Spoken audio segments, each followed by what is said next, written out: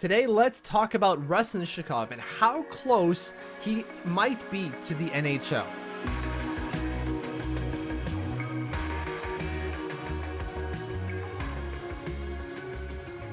We're going to start this video about a former Husky with a current one. Hello, Pete. How are you doing, Poop? Ah, yes, thank you. How are you doing? I just wanted to give you a slight update on Pete because he's not so slight anymore. If you remember the video of my introduction to him, there is a picture of it. And now look at him. Look at the size of this guy. He's massive.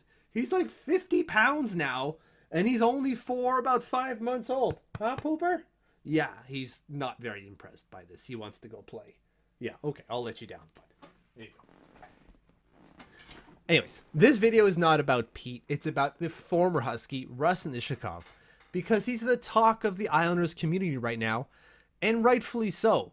Not only is he scoring goals like this, or goals like this, but he's also putting up 11 points through his first eight games at the AHL level. So today we're going to try to answer that. How close or far is Ruslan from the NHL? And let's just start off with the good stuff. Uh, and to be fair, there's not a whole lot of bad stuff, anyways. Uh, the good stuff, production, right? We already went over 11 points, 8 games, 4 game multi point streak. Epic. Excellent.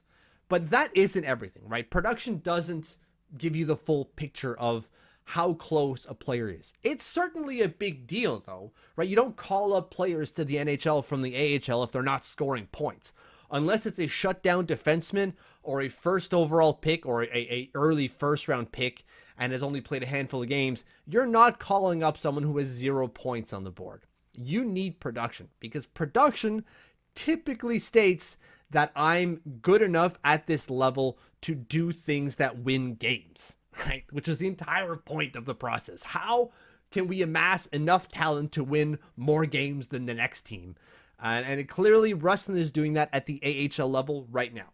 The production says things are, uh, Ruslan is at a, a point where he can produce well or, or allow you to win games at the AHL level. So that's good. There's also the whole point of confidence. This is a confidence driven game, and Ruslan is feeling it. Obviously, the production helps, right? Like anyone who produces is going to feel, feel confident but he was confident before that. Not cocky, not cocky, but confident. When I asked him, like, I'm I can't wait to see you with the Islanders, he's like, Yeah, the NHL ones. He was confident that he could make it to the NHL level from the AHL. Now, again, that doesn't mean he's cocky. He realizes the steps ahead of him and what he's going to have to overcome to get to where he needs to be, but he's confident that he's got the skill to eventually get there.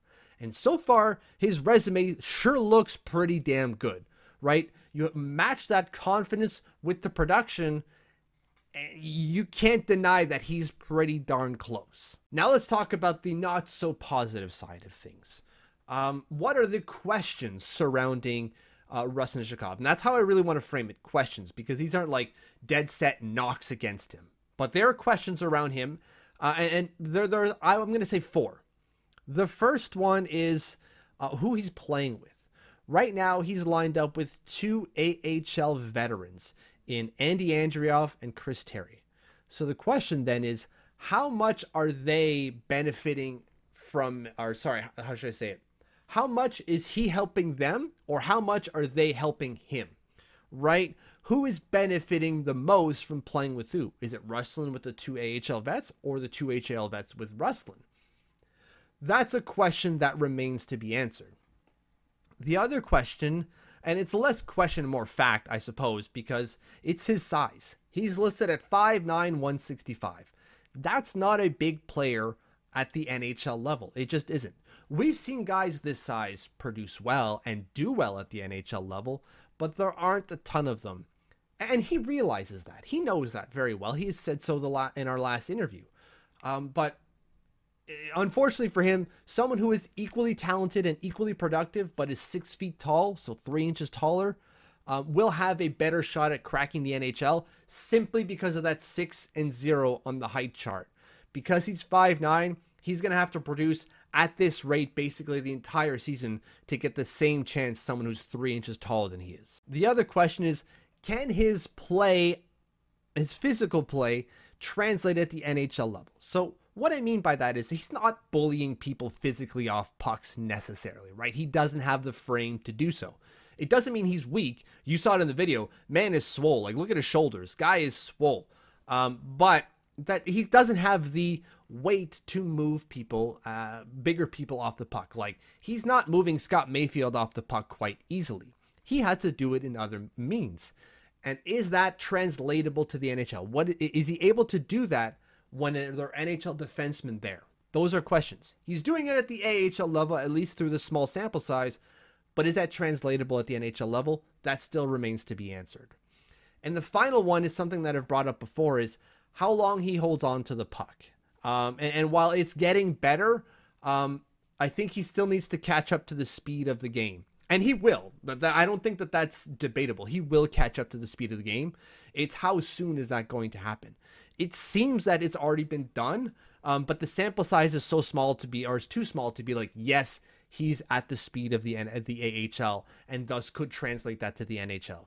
That is still a question that still needs to be answered, and will only be answered through a larger sample size. So, how close is he or not to the NHL? I would say he's pretty darn close. If it were to be, if a winger goes down in the Islanders' top nine right now, he'd probably be the first name called up. Probably. I'm not going to say it will, but but probably. It's not going to be Dufour, and it's certainly not going to be Aatu Räty. Uh, and you might say, well, why? Well, Dufour isn't producing at the same rate. He's, I think, having a harder time finding space at the AHL level. That'll come. And Aatu Räty, because he's a center, and they don't want to play him at wing. They want him to be a top six center, and so they're going to let him just sit and mature. Also, these guys are younger than, than Ruslan, so, like, he's going to benefit immediately from that. So, again, how close is he? I am saying he's very close. He is a lot closer than he is far away. He should be the number one prospect in the Islanders prospect pool right now, and everyone else should come after him. Holmstrom, Dufour, Räty, Bolduc, all of them are below Ruslan Iskhakov right now. You can arrange them in whatever order you want, but number one has to be Ruslan Iskhakov right now. Um, he is close to the NHL level. We still need a larger sample size, and if it holds, and I think it just might, he's going to be knocking in the door ASAP. Thank you for watching. Thank you for following. I'm sorry about the long break. Just things have been very difficult here. I should be back to daily videos ASAP. I know I've said it in the past, but I'm really, really trying.